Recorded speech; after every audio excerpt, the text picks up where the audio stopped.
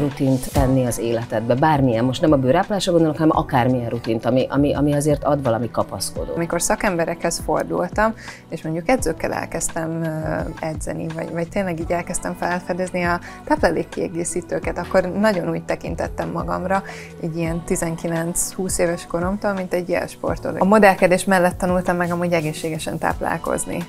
Nagyon sokan gondolják, hogy ugye pont az, hogy a modellek nem esznek és egészségtelenül táplálkoznak, nekem a modellkedés rengeteget segített, folyamatosan tanulok, a mai napig tanulok, és az eszával is rengeteget tanulok.